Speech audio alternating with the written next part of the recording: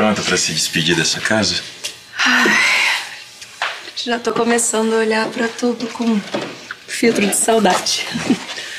Mas ainda tem alguns dias. A semana promete ser bem agitada. É verdade. Eu queria te fazer um pedido. Todos que quiser, meu amor. Como eu ainda tenho muita, muita, muita coisa pra fazer, ainda mais agora com a nossa lua de mel, eu queria te pedir pra gente só se encontrar no dia do casamento. Aí o que, que eu faço com a saudade? Ué, guarda pro dia do casamento. E pra lua de mel.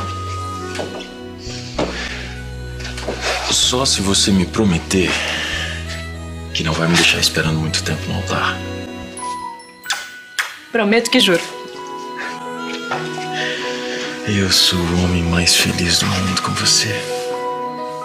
Então essa vai ser uma disputa acirrada.